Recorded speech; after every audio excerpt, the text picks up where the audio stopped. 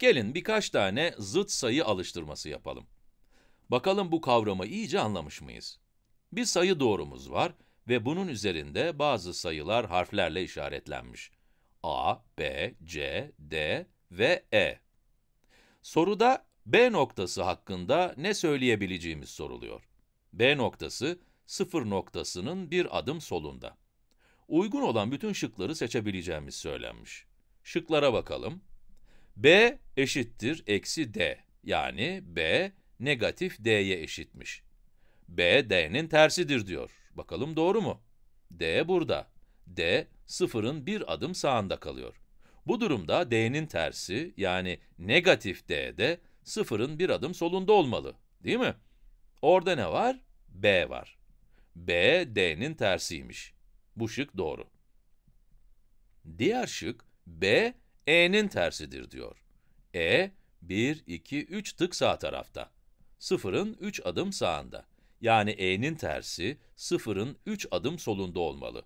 1, 2, 3. Burada B yok, A var. B, E'nin tersi değilmiş. A, E'nin tersiymiş ama bu şıkta bize söylenen bu değil. O yüzden bunu işaretlemiyoruz.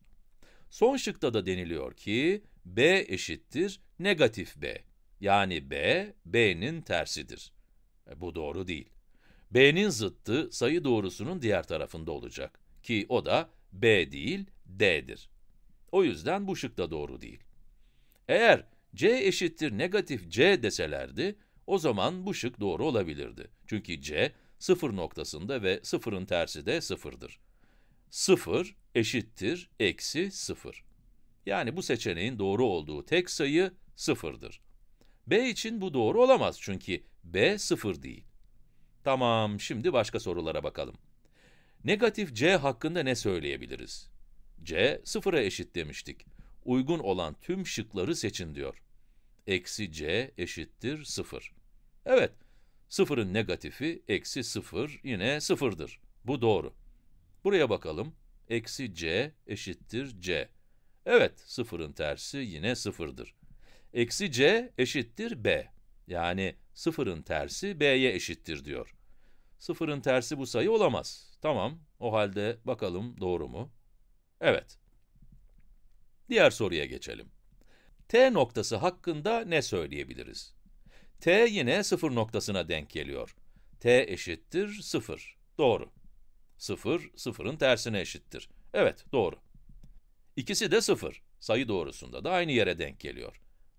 T eşittir eksi, eksi T. Yani t, t'nin tersinin tersine eşit diyor. Bu seçenek aslında her sayı için doğrudur. Herhangi bir sayının tersinin tersi o sayıya eşittir. Buraya r'yi veya s'yi de koyabiliriz. Bu şık yine doğru olur. Sıfır için de doğru. Evet, cevabımız doğru. Umarım bu alıştırmalar işinize yaramıştır ve zıt sayılar konusunu biraz daha iyi anlamanızı sağlamıştır.